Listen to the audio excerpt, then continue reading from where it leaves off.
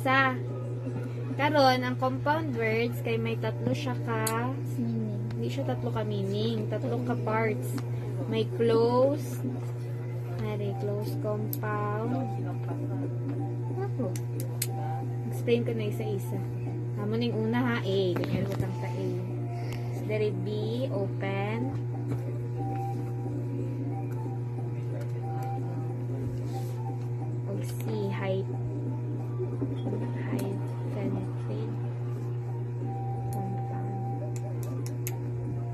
Pag close compound gani, dikit ni sila. Amo nitong example sa, ako na may example ha. Flashlight. Flashlight. Oh, ano na? Flashlight. Ano ning flash? 'Di ba ibang iba ni siya meaning niya? Hmm. Ano na siya? Mga meaning sa flash ano man? Nang personal. Oh, Personal. Siya nang kunyari butang ta diri.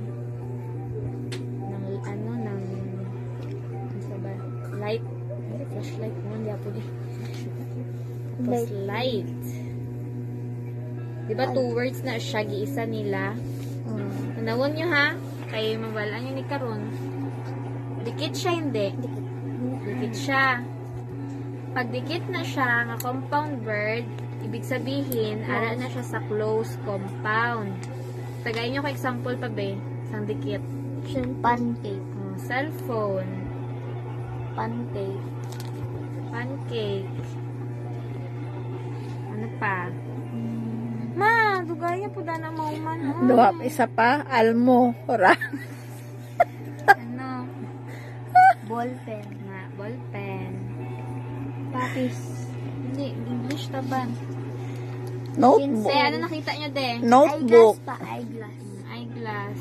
O Pencil. ano? Hindi na pwede ba? Word, oh, butang ta pencil ha. Word ba ning seal? Hindi. Oh, hindi na siya word. Pag hindi siya word, hindi na siya pwede compound word. Kaya dapat duha ka meaning. Gets mo? Electric fan. No, press ni. Ah. Nang hiwalay? Hmm, dap nang two words na siya. Kunyari, di two words na ki... Ma! Di kaya ba mauman? Two words na siya nag-iisa. Gets mo? At nga, bawal ni siya, be. Ga-. Kaya ang seal, hindi na siya word. Word ba na? May word ba nga nabalaan ka nga seal? Wala. Oh. Are, sa cell. May nakita ba ka mo cell nga word? Oh. Oh, may ara. Phone, may ara. Oh. Compound na siya.